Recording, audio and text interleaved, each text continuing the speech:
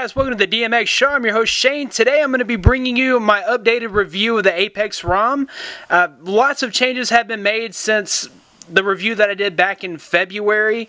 Uh, Bigxie has really been working on this ROM. Uh, right away you'll see the new boot animation. Well, this isn't really new. This has been around for a little while. Somebody had suggested that I do a boot animation first and then jump directly into the ROM review, so that's kind of what we're doing today. So what I will say first of all is that this ROM is by one of my favorite developers of all time, Bigxie, uh, or some of you guys know him as Fab Droid, and he was really one of the main developers for the Droid X. So a lot of guys that watch this channel already know uh, what he is capable of. So he has a really fast, stable, snappy ROM. Um, of course, it's going to act up on me when I say all that. But this is version 1.1.2. He had released version 1.1.3 and it had a bug in it. Um, so he had to pull that. But this one is very stable.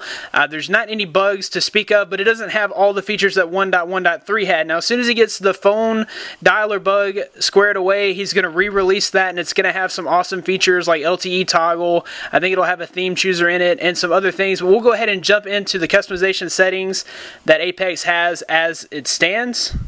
Uh, the first thing we want to do here is go to About Phone. This is built on Android version 4.0.4. It's the latest version, IMM76i. Uh, and then you'll see that the build number is version 1.1.2. If we go back here, uh, we can go into the customizations.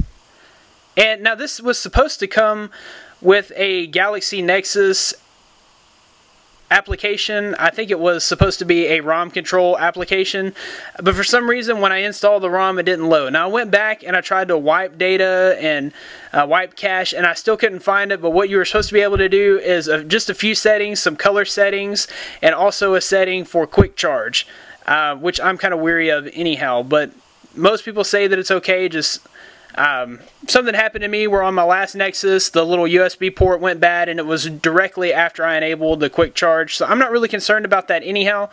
Uh, we'll jump into CPU performance. Of course, this is on the lean kernel.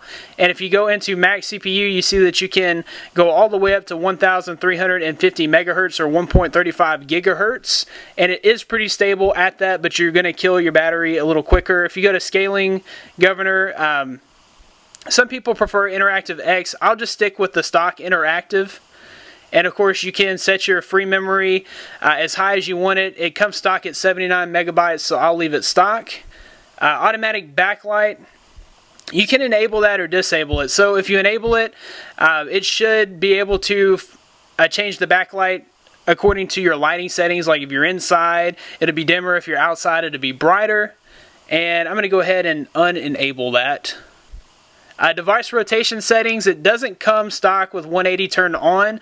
180 allows you to turn the phone all the way upside down, which gives you really easy access uh, to the headphone jack when it's sitting in a cup holder or something like that, which is pretty cool. Uh, so I go ahead and check that 180 degrees. So we'll go back into the settings. You have your notification power widgets, which are your pull down widgets up here. Um, let's see we can change those by going to widget buttons and we can choose whatever we want. So like uh, that LTE toggle was supposed to come with the 1.3, 1.1.3 build which was pulled. So I'm sure we'll see that LTE toggle soon, but we have every other toggle that you can think of.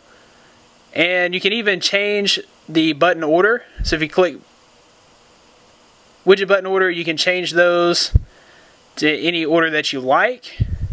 We'll go back into settings and uh, we'll go to battery style. It comes stock with the uh, offset percentage. You can go gummy battery bar or circle battery, which is pretty cool. I like that. And it gives you the circle battery.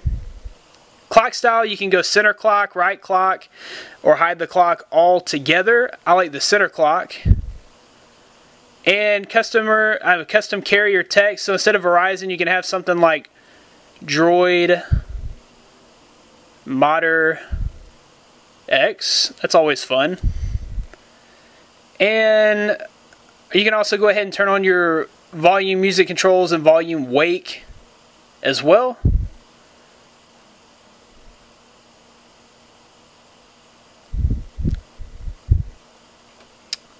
we can go into the launcher settings. There's a few settings that you can change in here. I always like to remove the search bar by unchecking that and I like to re check the resize any widget. Uh, so that just allows you to resize like your YouTube widget or your bookmarks widget or your clock widget uh, right there on the screen. You can change your transition effect. I prefer cube out. And on your drawer settings, you can change some things in there too. And just so everyone knows, that is trebuchet. And I understand. Everybody says, you need to learn French. I think the very first time I said anything about the trebuchet launcher, I called it tray bucket. So ha ha ha, laugh out loud. This is the lock screen. You can uh, set up to five locks in here. Uh, so all you have to do is drag there and click OK. And go to applications and you can go ahead and set what you want. So if I wanted to go, like let's say I wanted to go directly to Twitter, there it would be. Or I could set, you know, YouTube. Twitter and YouTube are probably the two most used applications, followed by like my Droid forums and my RootzWiki applications.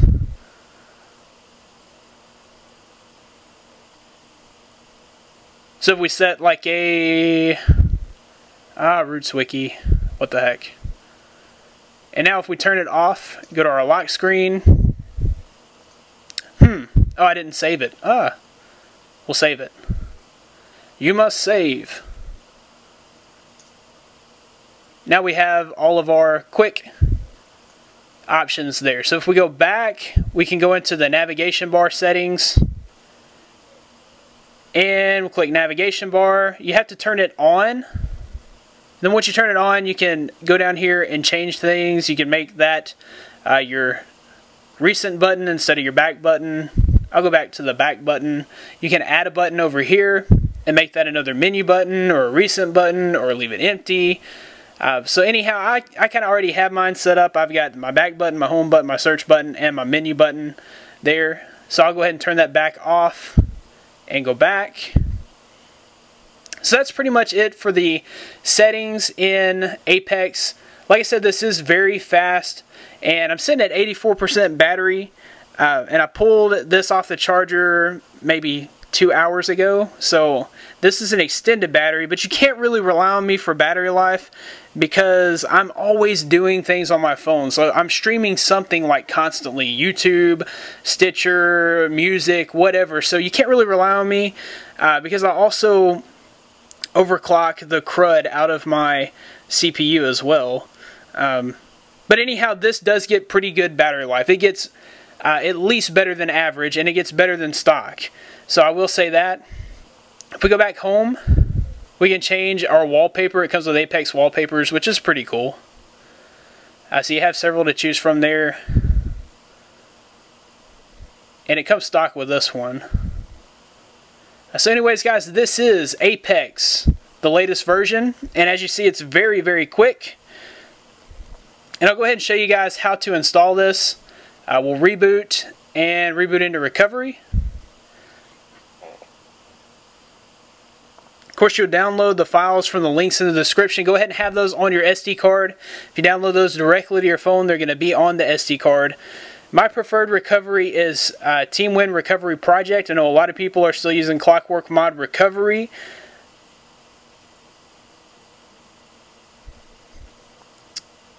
But you would do the same steps in Clockwork Mod Recovery as you would in uh, TWRP. So if you're following along, you go to wipe and factory reset. You will slide to wipe. I'm not going to do that right now. And then you're going to wipe cache, slide to wipe. Dalvik cache, slide to wipe. When you're finished with that, you'll go back and install. You're looking for uh, Bigxie Toro Apex version 1.1.2.zip. You'll select that and then you will swipe to install. Then you're looking for your GApps uh, April 29th is the latest GApps, so you'll click that and swipe to flash. When that's all finished, you'll have an option to reboot the phone. I don't because I didn't I didn't flash it, so I'll go ahead and go back and reboot the system. And it's as simple as that, guys. That is the updated review of Apex. I hope you guys enjoyed it. Be sure to click on the subscribe button right there. I click the like button right there. Just give me a big thumbs up if you liked it. It really does help me. I know you guys think, oh, well, you know, it's, it's just two seconds, but your two seconds helps me a ton, and I really do appreciate it. And you can think of it as like a pat on the back for me anyhow. Uh, but guys, I really do appreciate your likes um, and your subscriptions and you guys can check me out at Droid Modder X for all the latest news, ROMs, mods, and hacks for your Android device. Be sure to follow me on Twitter at Droid Modder X. And uh, thanks, guys, for watching. I'll see you in the next one.